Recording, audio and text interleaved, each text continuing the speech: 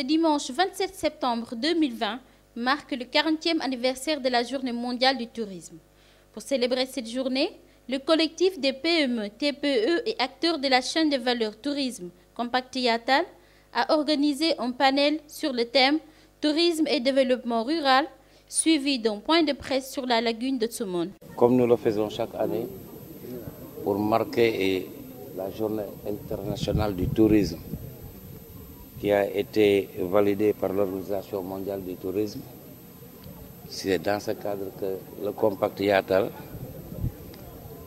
sous la voie éclairée de notre ministre du Tourisme, nous a donné des orientations et des recommandations pour préparer la relance du secteur du tourisme, pour appeler les uns et les autres à s'approprier de l'outil touristique du Sénégal. C'est la raison pour laquelle Compact Yatal, à travers le thème de la journée d'aujourd'hui, qui est développement rural, est venu ici dans la zone de Tchafoura Khassab pour marquer cette grande journée. Donc nous avons démarré par un panel. Lorsque nous avons terminé le panel, donc nous nous sommes rendus dans la zone rurale. Ici, je pense que si on parle de ruralité, vous voyez ce qu'il y a comme ici de typique et de naturel. C'est ça où on vit réellement le tourisme durable dans cette zone. Ce que vous venez de voir aujourd'hui s'articule sur deux points. La ruralité, d'une part, et qu'aujourd'hui aussi, vous voyez qu'au niveau de la durabilité, ça a été respecté sur toute la ligne. Également aussi, voudrais-je féliciter la réserve qui sont parmi nous aujourd'hui, la réserve communautaire et la direction des aires marines protégées, la réserve naturelle d'intérêt communautaire aussi, qui sont parmi nous aujourd'hui. Tous ces beaux fonds nous ont accompagnés dans cette journée. Également, Rasta et M. Alun 6 de l'hôtel Africa 6 aussi nous ont accompagnés dans cette journée. Donc il y avait tous les membres du compact qui sont là, l'ensemble des bureaux, des, des, zones qui étaient présents aujourd'hui lors de ce panel.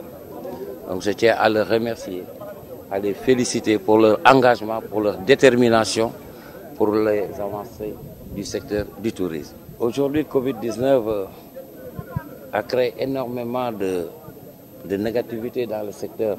Aujourd'hui, il y a des pertes d'emplois. Aujourd'hui, vous voyez qu'au niveau des segments de la chaîne de valeur, tout est bloqué. Les gens ne peuvent plus aller et revenir comme ils le souhaitent. Et d'une part, les valeurs marchandes qui s'articulent autour des actions touristiques, tout est à l'arrêt. C'est la raison pour laquelle le ministre du Tourisme, M. Alun Sarr, a vite compris que la chaîne de valeur était restée en rade et il a pris cette préoccupation. Et c'est là d'où il nous a accompagnés de presque de 354 millions pour aider, accompagner tous les acteurs à la base, du plus petit au plus grand. Donc dès que nous l'avons rencontré, il nous a donné des recommandations sur lesquelles c'est préparer la relance et aussi également préparer aussi les grands investissements pour que les acteurs soient des entrepreneurs touristiques. Et là, comme je vous l'ai dit tantôt, il y a même des mesures d'accompagnement qui sont prévues dans ce cadre. Et comme vous le voyez, notre plan d'action s'articule autour de ces points à partir de maintenant. À partir d'aujourd'hui, nous sommes là donc pour la relance et nous allons tout faire pour que vraiment, dès, le mois d'octobre, vraiment qu'on puisse toucher du doigt l'ouverture de la saison touristique d'une manière générale. On se réjouit. Donc, je me réjouis au nom, à mon propre nom et au nom des populations locales ou au nom du comité de gestion, d'avoir l'occasion de recevoir aujourd'hui euh, les responsables touristiques du département d'Embourg, si je peux dire même de la région de Thiès et du Sénégal.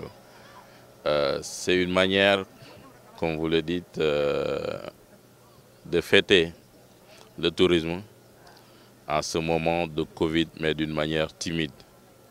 Timide par rapport à ses conséquences et, par ailleurs par rapport au thème qui reflète encore euh, notre politique de conservation de cette ressource naturelle communautaire, de cette ressource naturelle que nous avons.